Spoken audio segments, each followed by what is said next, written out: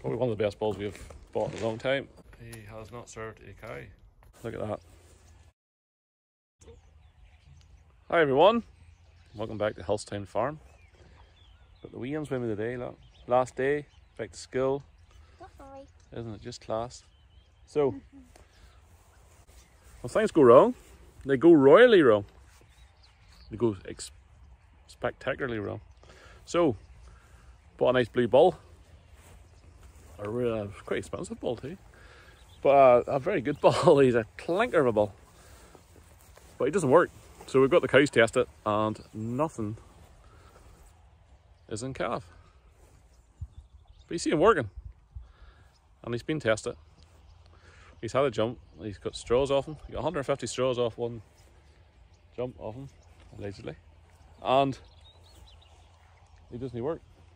So, I'll explain a bit more about that later on. But we've had to go and get another ball, which is there. A Simmental ball, which we've borrowed kindly donated or lent to us by our butcher in the farm shop, Miss Armour.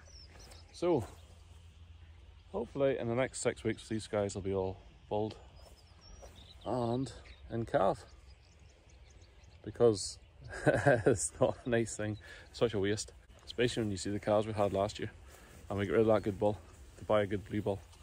Weird, look at that. Is that not a clinker or what? short and quiet too. Um, but these things happen. They're here to test you, so we'll just go over it. So we will. So we'll look for a new ball over the winter time, and uh, that'll get us going for next year. A young ball. Hopefully, if anybody knows of anything in the comments, we should be putting to these cows for the next run, um, I'm open to suggestions. And I would like a young bull, maybe something, doesn't need to be too old, it's just something to bring on ourselves really. We took the opportunity now to split out all the bad cows. So we had a few, well not, not really bad cows, are they? No. They're just ones with feet problems. Uh, we have a lot, because we finish a lot of heifers and we buy them a lot from the markets they turn out in calve because the farmer before hasn't kept the bull away. And then he takes them and sells them in the market, which is a bit stupid to be honest. So we end up with a lot of cows. Our heifers are in calve and we had to calve them and bring them on and they're just not suitable and so we pulled all them out, they're not staying. Normally they would have stayed with the herd and we just kept the thing going, but we decided enough is enough. This year we had Dev, which is a Belgian Blue Belgian Blue Cross Holstein, yeah. Bags of milk. Quite a average sort of calf. It's okay. Had a calf, live calf, which is good. Although we have likes of this in here. This is a clinker too. She's going, but because of her feet, but she has some mighty calf. So that's a heifer calf. I would hope to keep that calf here on the farm. Well, maybe that's not a good idea with a bad feet, but it's smaller. But so that's that plan. Like that one doesn't start. So if you like what we're doing, don't forget to subscribe.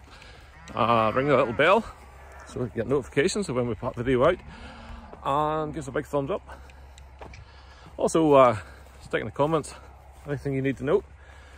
We'll be happy to answer it. Also, what weight do you think that bull is?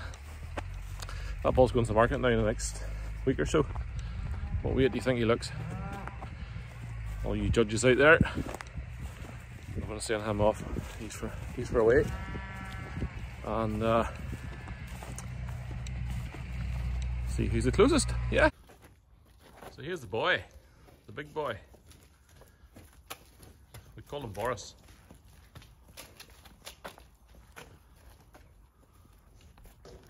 Why do we call him Boris, Carson? Any ideas? We shouldn't have called him Boris because I think it's jinxed him.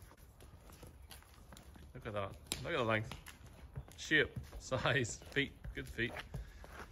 Ah, sure. Cracking ball.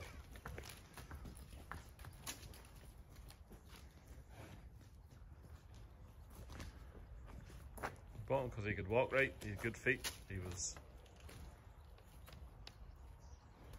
yeah.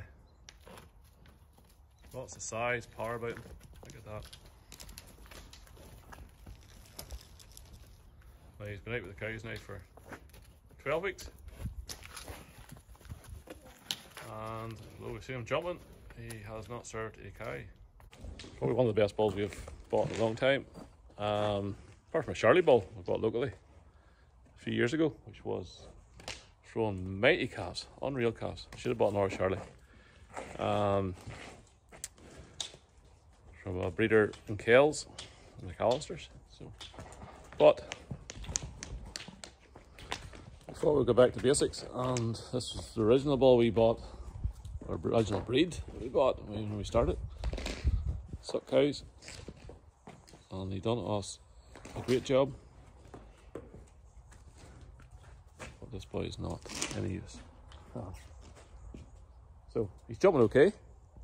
He's fertile because they took a jump off him before I bought him, and there was 150 straws off the one jump, so he's working.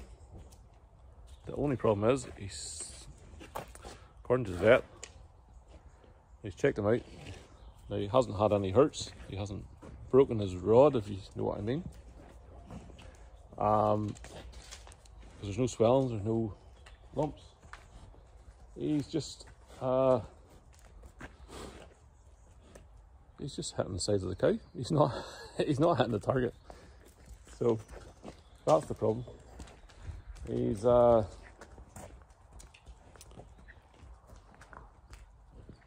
he jumps the cow, he's going up the side of the cow instead of where it should be going and missing. So it seems to be a genetic problem, or uh, if somebody wants to comment below just exactly what that is, but uh, the vet called it penile dysfunction.